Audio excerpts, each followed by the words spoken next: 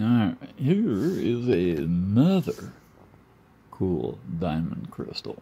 And look at this thing, man. It is, it's got some really interesting terminations. You see that? It makes kind of a, a hollow crystal in there.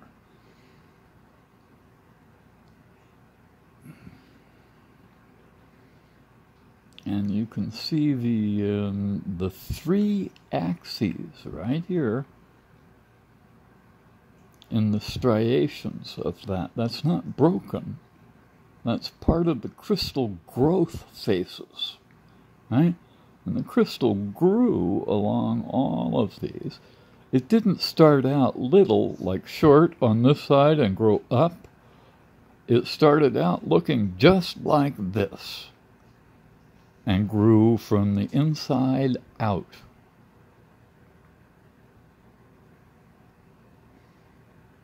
And these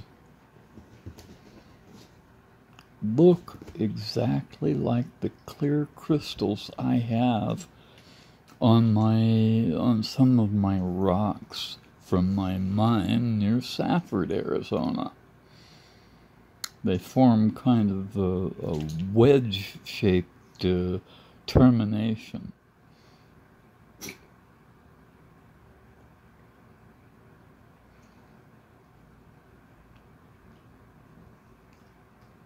But my first opal mine has what I called fancy quartz crystals. And they are hollow.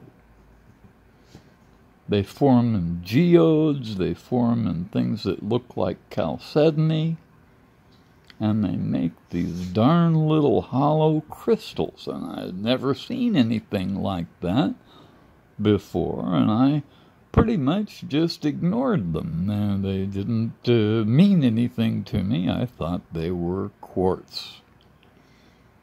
And you know, when, when you know what something is, you don't investigate any further, right? You already know what it is. And that's what happened. I ignored them.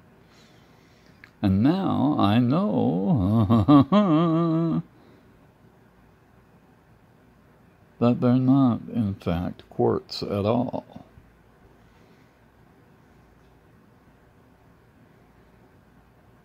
It is a diamond.